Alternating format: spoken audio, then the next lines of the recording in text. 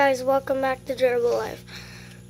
My Gerbil's Buddy, my Gerbil Coco, and my Gerbil Moco are here. They just got introduced to each other here, oops, here, and here. They're just getting introduced to each other, so they might squeak a lot. And let's fast forward this part. Guys, we're back they're a little bit more like Buddy's on one side, they're on the other. No, that's not true. Oh, he actually wants to chew and he's mad. Well, Buddy forgot about them. He's chewing. Actually, they're not really friends with them, but they'll become friends like Suddy and Buddy. Oop. There's Coco. Moco is back here. Buddy's just having a good time chewing for some reason. He just likes it.